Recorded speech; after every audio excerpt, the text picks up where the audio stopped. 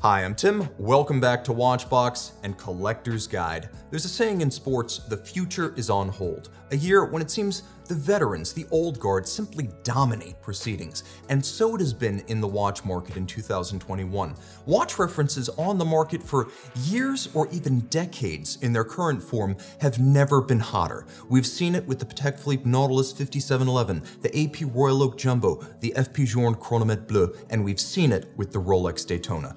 This is the collector's take. The story of the Rolex Daytona dates back to 1963 and a sports chronograph that Rolex dubbed the Le Mans. But Americans don't do French articles or soft ends, so the watch was immediately renamed Daytona. The timepiece began a lasting association with the sports car endurance race of the same name at the track of the same name, and through the 1960s, 70s, and 80s, I must admit it was not a popular model. All of that changed in 1988 with the arrival of the modern format Daytona. Now 40 millimeters and automatic winding, the timepiece was a sensation. In the year 2000, Rolex swapped out the Zenith movement for one of its own, and thus begins the generation that you see on today's show. Reference 116520, the first in-house caliber Daytona, ran as you see it, steel with steel bezel, between 2000 and 2015. 2016 saw the arrival of the current ceramic bezel, and that's about all the change the watch has realized in 21 years. The Rolex Daytona is slim and sultry. This is not the Super Case Sub or Sea Dweller. The watch has graceful compound curves and a case that's more reminiscent of the Rolex dress models than of the sports models. It's thin. Just about every Daytona is between 12.2 and 12.5 millimeters thick, so it looks gorgeous on the wrist and a wrist of any size.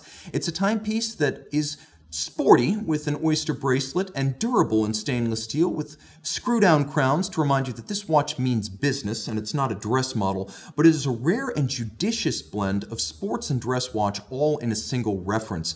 There have been detailed changes to the clasp through the years, and since 2000 the watch has gained an uprated closure, but the EasyLink 5mm adjustment has been a constant through this period.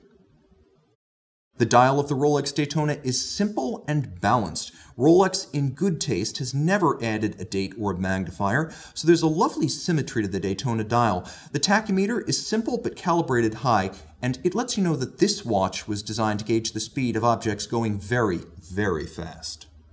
With Rolex, the watch is the star, and that's evident in the box set, which is basic.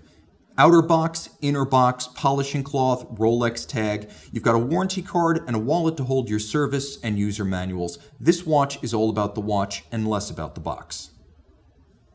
The Rolex Daytona is, above all, the chronograph. For years, it had a special cachet in the Rolex catalog as the most complicated Rolex watch you can buy. To this day, it's an absolute icon, not necessarily for complexity, but for style and consistency. Again, a watch unchanged fundamentally since 1988, Rolex got the automatic Daytona right out of the gate.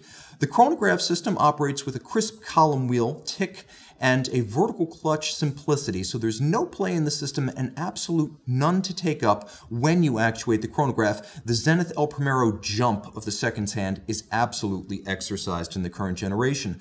Uh, this is a watch that is relatively easy to wear with just about anything. Boardroom or boardwalk, it's always at home. The 100 meter water resistance is overkill for a watch designed to be used high and dry trackside, but let's not discount that you might want to cool your heels at the beach at Daytona following the race. This is a timepiece that looks great on almost any wrist. It's a timepiece that looks great in almost any era and with almost any attire. It's hard to get it wrong, simply put, wearing a Daytona. Who should consider this watch? Traditionalists. If you like the sports complications of the 1950s and 60s, perhaps even the original 63 Daytona, this watch is for you. Are you patient? If so, batter up. With waits up to 24 months at Rolex dealers, you're going to have to be patient to take delivery at the retail price of about $13,000. Trophy hunters. If you consider this watch the status and stature equivalent of a six-figure Patek Nautilus or FP Journe Chronomètre Bleu, then the $35,000 pre-owned price almost makes sense. This is an impact watch. Race fans, start your engines. You could conceivably win this watch in 24 hours of Daytona, but at the end of the day, you're probably going to wait at your dealer or buy it on Chrono24. Buy with confidence. If you're a fan of motorsports, no watch anywhere is more synonymous with speed. When you have to wait years to take delivery of a watch, it's natural to consider alternatives, and the most obvious is the 2021 Zenith Chronomaster Sport. This watch truly is the doppelganger of the Daytona, and if we're honest, it cribs quite a bit of the style from Rolex's popular chronograph. However, it's worth considering on its own terms. At 41mm with a full bracelet in stainless steel, the watch cuts the same striking figure on the wrist as the Cosmograph, and with the El Primero caliber 3600, there's horological interest here that's not necessarily interchangeable with the Daytona. Also consider the Tudor Black Bay chronograph. Within the house of Rolex Tudor, you have an ideal 41mm alternative. Inside is a 3-day power reserve chronometer certified Breitling caliber B01. Doing business with Tudor, the watch is 200 meters water resistant, durable, sporting, fun, and far more affordable and accessible than its big brother from Geneva. Do you want a Rolex? It doesn't have to be the Daytona. Quick, cover the dial of the current Yachtmaster, and you'll note that its size, its lines, its stance, its compound curves are a dead ringer for the popular chronograph. Now, the Yachtmaster isn't a chronograph, but it is a timer with a yachtsman's bezel. Again, this is a watch that gives you the full Rolex experience, the wrist stance, the status, and the stature if you crave it, but you'll be able to buy it used for about a third of the price of a steel Daytona, and the wait at your dealer, if there is one, will be short. So we're left with a quandary. A fantastic watch that takes forever to buy or winds up awfully expensive pre-owned. You need to consider the alternatives seriously. If you just want a cool watch, any of those will do. But the heart wants what the heart wants. And if the heart wants the Rolex Daytona, I recommend you stick with that. Follow the path, whether it leads through your Rolex dealer or 24 hours in Florida. The Daytona is worth the wait. And that is the collector's take.